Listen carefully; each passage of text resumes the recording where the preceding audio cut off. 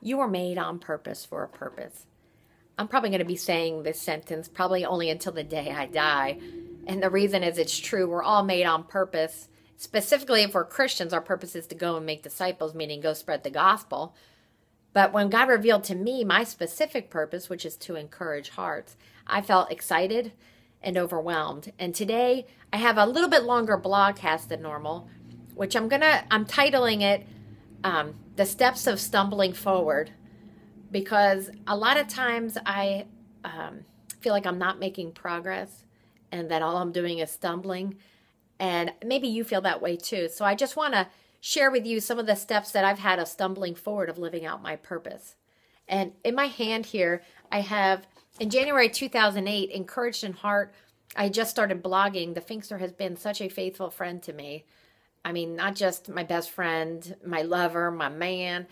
I, I, mean, a faithful friend to you. I mean, if it wasn't for him, I, I've joked before that I literally would be writing via stone tablets like a cave woman. And we started blogging, and if it wasn't for him setting it up and doing the technical end, it would never be for sure. And so this was the first newsletter.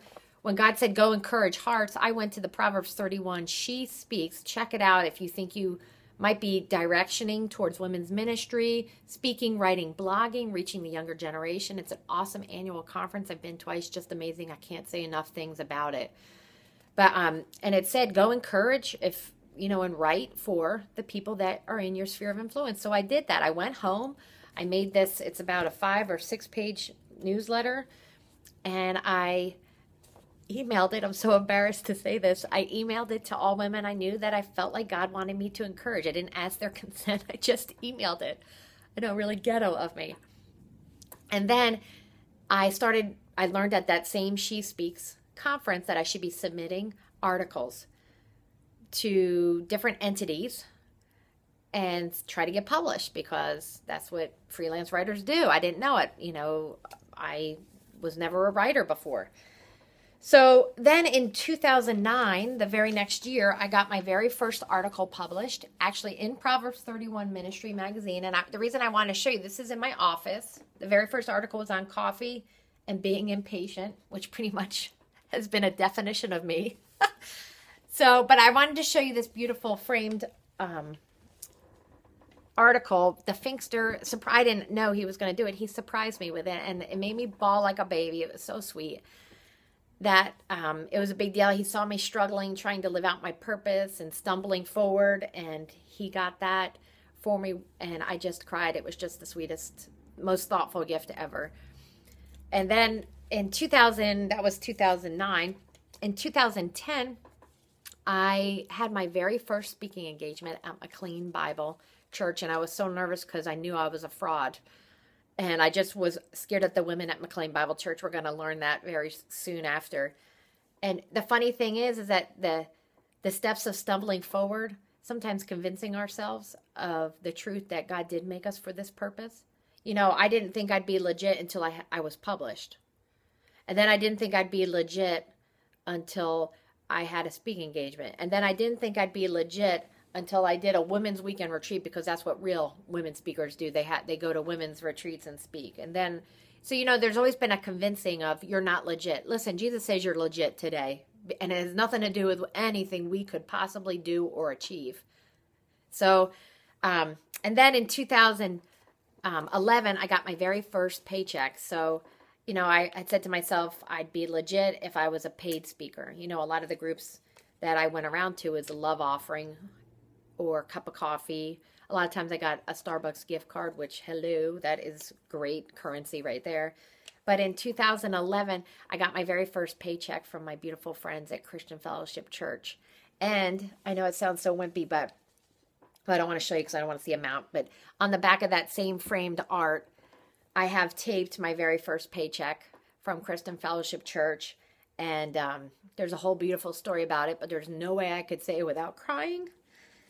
So I'm going to keep going, but I just love you people at CFC, Liz, and wow, I wasn't expecting to be paid. And yeah, so it's just precious.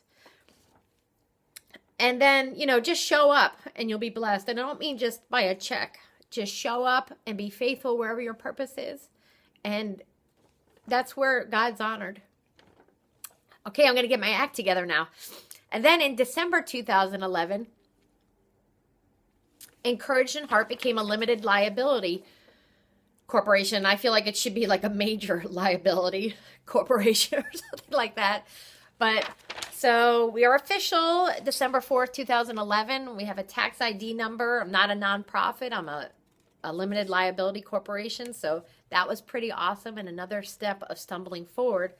And I'm grateful not only for Finkster's friendship and technological skills, um, I'm thankful for his business savviness and helping guide us through this. I mean, just such, I'm blessed to have great people in my life. I mean, really blessed. And then I convinced myself I was still a fraud because um, real Christian, like I said earlier, real Christian women speakers do weekend retreats.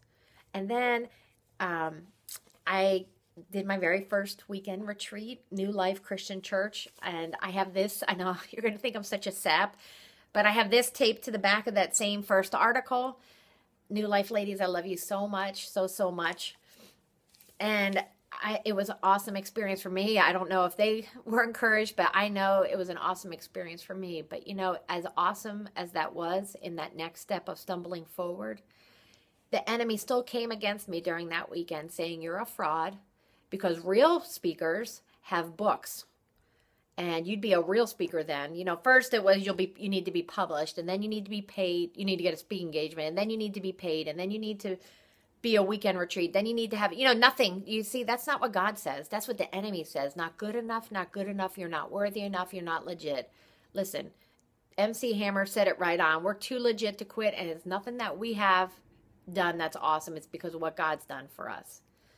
And then in 2013 I told the devil to just shut up. and we published our very first book. And this is an ebook.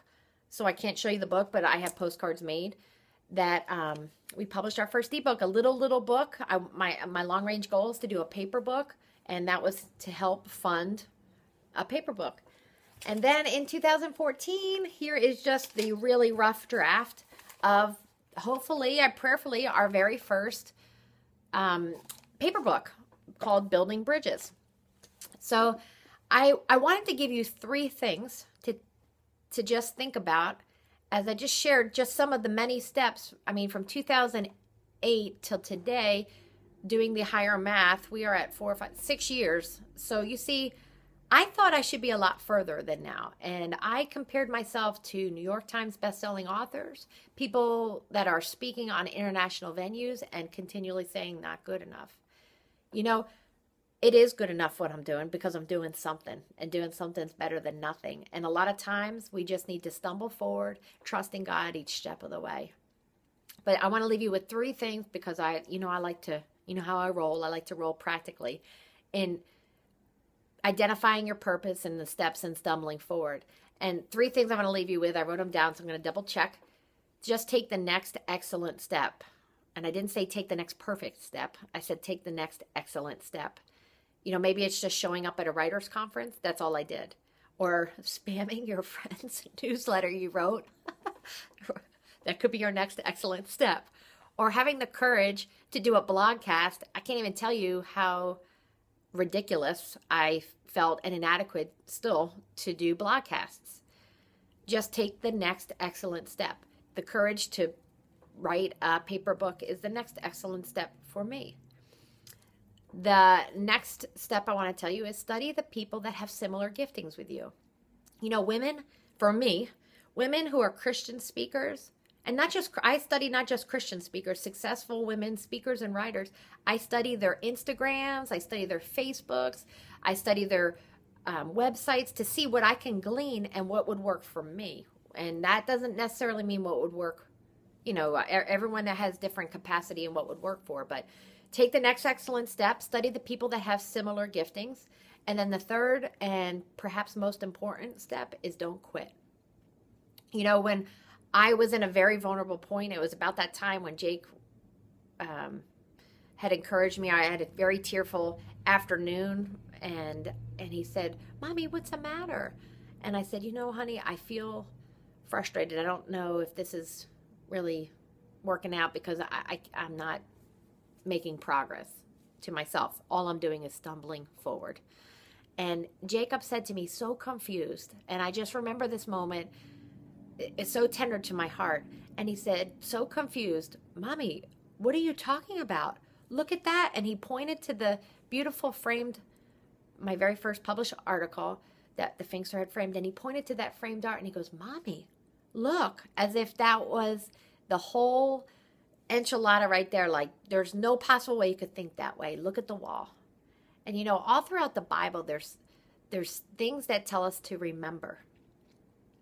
You know, Jesus at the Last Supper, he said, "Do this in remembrance of me." Throughout the Old Testament, you know, we we put a stone in the ground to remember God is able or God is faithful. You know, sometimes we have to remember, and that's why, you know, I'm a little sap, and I have my after the Finkster gave me that beautiful gift, I tape my first paycheck. I tape my first women's retreat because you know what? I know part of my strength is encouragement and part of my weakness is not is being discouraged. And I need to look at that sometimes and say that saying that Joyce Meyer says is you know what? I'm not where I used to be. I'm not I'm not where I need to be, but thank God I'm not where I used to be.